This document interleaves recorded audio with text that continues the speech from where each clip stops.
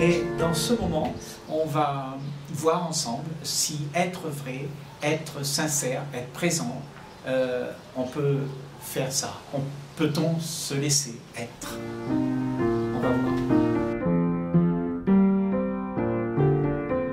Parce que, vous savez, l'expression humaine, elle est là euh, pour être euh, déversée.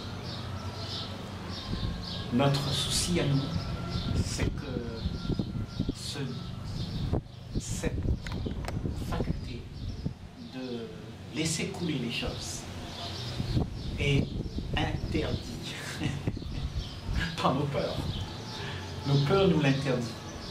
Donc on se, on se restreint, on se freine et on ne dit que ce que autres veulent bien entendre. Mais quand tu es comme ça, tu n'as pas cette légèreté, cette grâce qui fait que tu es juste là, présent, ce que tu es. Tu es naturel, tu es authentique, tu es vrai. Et ça, c'est la chose, probablement, dans notre société, qui nous a été euh, rappelée à l'ordre. On nous a tous euh, fait croire que c'est dangereux d'être sincère, d'être vrai, d'être terriblement soi. Parce que on nous a fait croire que c'était dangereux parce que, et on l'a cru, et on l'a inscrit dans nos mœurs, que si on est sincère, eh ben, on va s'attirer des problèmes. Donc on ne dit pas tout. Donc il y a beaucoup de non-dits qui, traînent comme ça dans la vie. Et entre nous-mêmes et nos, nos familles, nos, les gens avec qui on côtoie, les relations il y a beaucoup de choses qui ne sont pas totalement ouvertes à la discussion. Pourtant, cette ouverture, elle me paraît tellement cruciale et importante. Parce que quand nous sommes terriblement sincères envers soi-même, envers les choses qui se passent d'instant en instant, et qu'on les accueille, qu'on n'essaye pas de les mettre sous le tapis, eh bien, il y a une beaucoup, il y a une beaucoup plus grande faculté de concevoir les choses.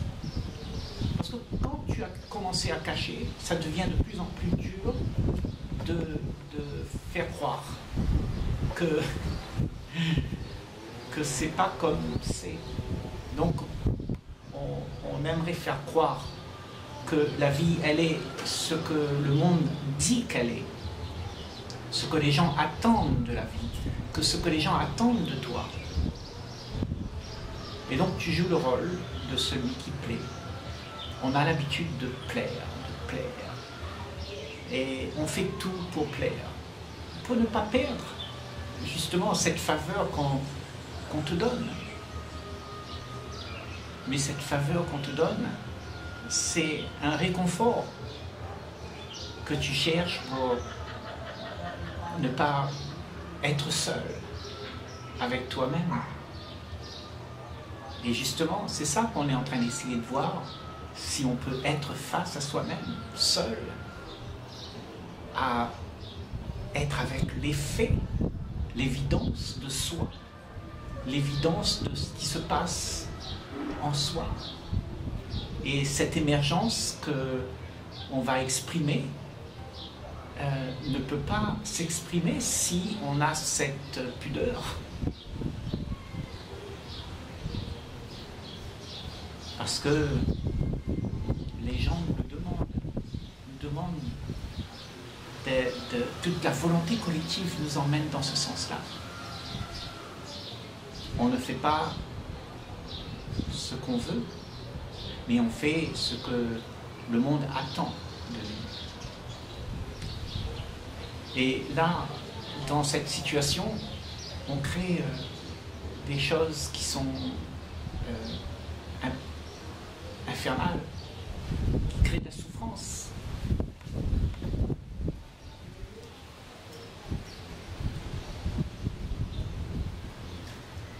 Parce que l'autre, au bout d'un moment, quand tu vas réaliser que tu es vraiment isolé dans ton petit monde à, te dire, à te raconter toutes ces histoires et à ne pas avoir cette connexion franche, intime, profonde, eh ben tu en souffres.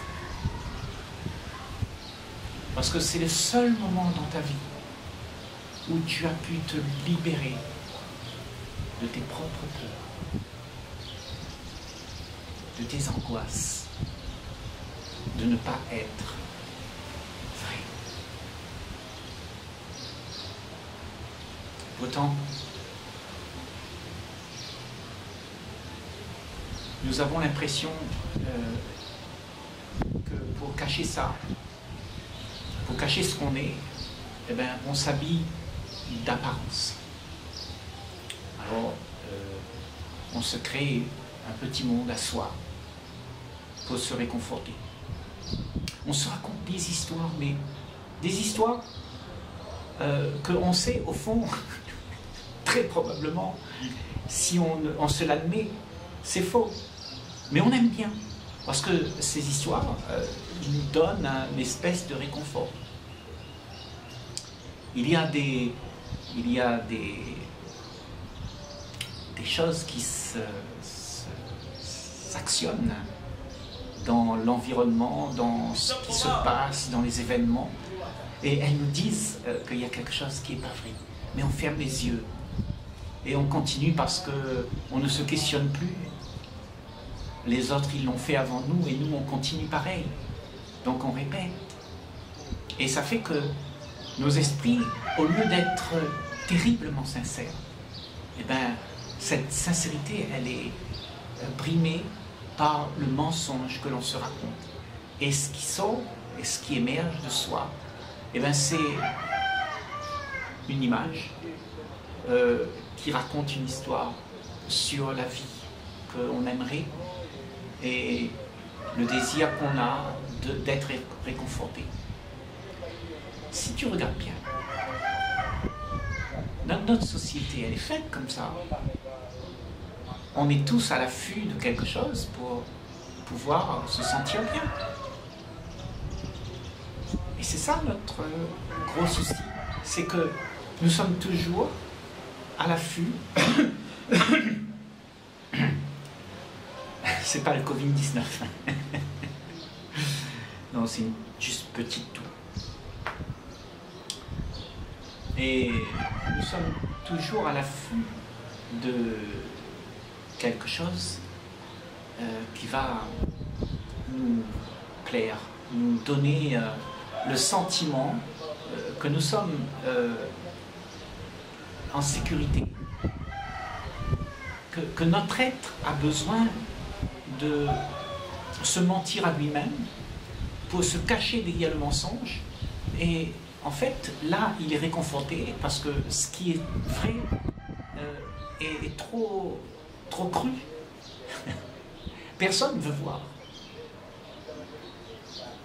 Ce que tu es, c'est cru, c'est de la vérité pure. Quand tu dis la vérité, quand tu es sincère, c'est de la vérité. Donc si tu laisses cette sincérité être, certainement, elle va déranger. Elle dérange parce que ça demande à celui qui entend ce que tu dis, entend ce que tu exprimes, eh bien, une remise en cause. Comme probablement on est en train de faire là, toi et moi, on se remet en cause. On remet tout en cause on n'accepte pas ce que on a acquis toute la connaissance qu'on a est quelque chose d'acquis. Mais si tu te bases là-dessus, c'est de l'acquis. Demain matin, quand tu vas te réveiller, il faudra encore avoir de l'acquis. Il faudra encore acquérir d'autres connaissances qui vont faire euh, ton habit, l'habit qu'on appelle moi. moi avec ma prestance, parce que je sais. Mais toute cette connaissance, elle est limitée. Et quand on, exprime que cette connaissance-là, eh bien, tout ce qui est passé un mensonge pour ce qui va émerger maintenant. Elle défie le moment où tout se met en... tout étale, tout, tout, se, euh, euh, tout se manifeste. Au moment où tout se manifeste, il n'y a pas de passé. Il n'y a pas de connaissance à, à accumuler. Il y a juste ce moment où tout est là, présent. Et en fait, la sincérité, c'est de pouvoir euh, se manifester dans cet état de présence où il n'y a rien que tu puisses dans le passé pour exister. Ça veut dire que tu es vrai. Tu es terriblement là, présent. Tu n'as pas d'autre euh, issue que la vie que tu es. Et c'est ce que tu as toujours été.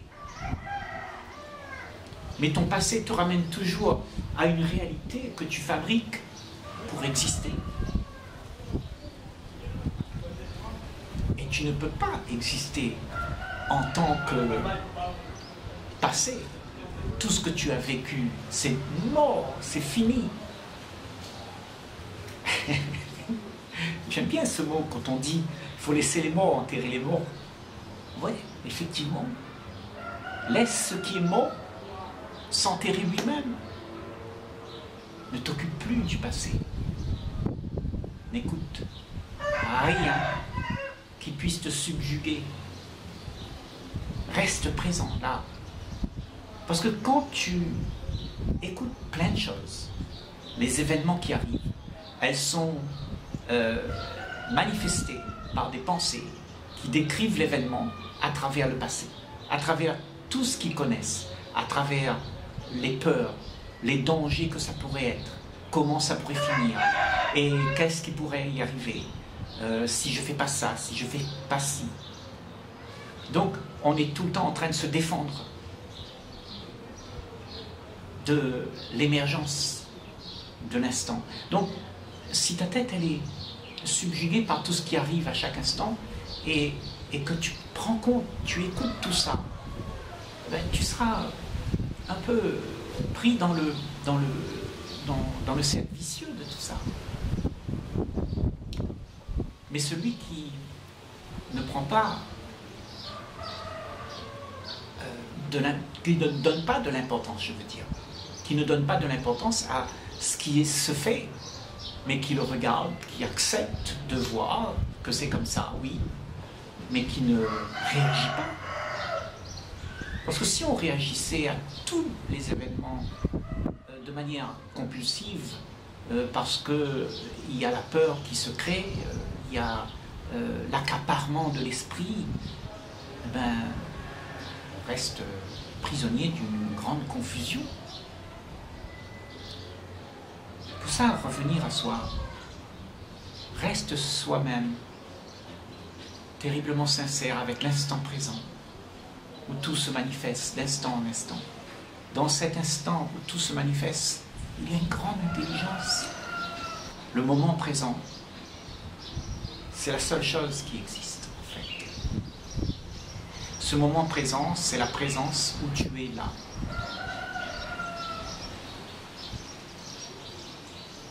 Rien d'autre n'existe. Les autres choses, Ce sont les choses qu'on amène avec nous dans notre idéal.